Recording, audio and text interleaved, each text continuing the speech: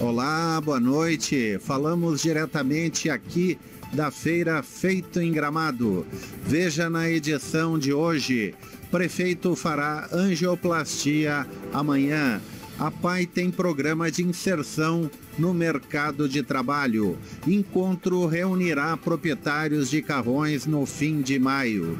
Galeteria anuncia fechamento. No local, abrirá uma igreja e uma entrevista com Felipe Verpe, diretor da Raçã Móveis e Incorporadora. Ele fala sobre os planos para a área de 9 mil metros quadrados adquirida recentemente na Várzea Grande. Confira depois do intervalo.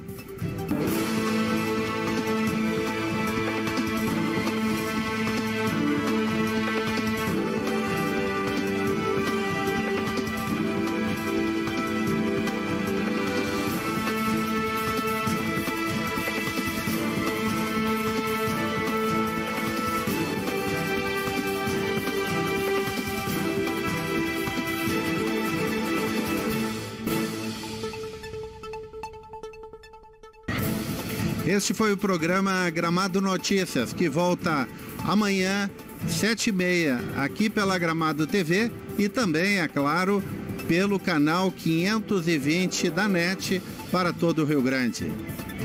Uma boa noite. Gramado Notícias. Oferecimento Sicredi, onde o dinheiro rende um mundo melhor. E sempre bom. Qualidade e economia todo dia.